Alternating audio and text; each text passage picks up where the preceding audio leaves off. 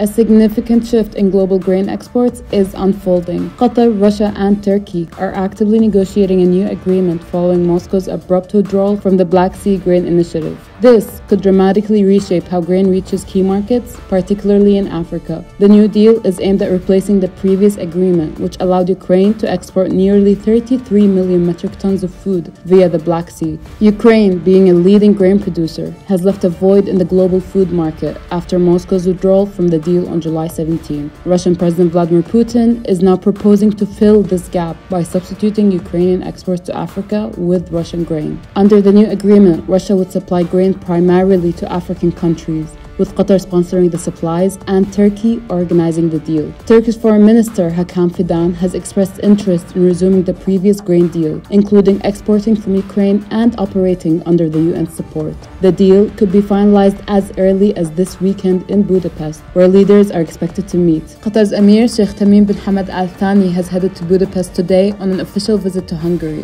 where the deal could be announced.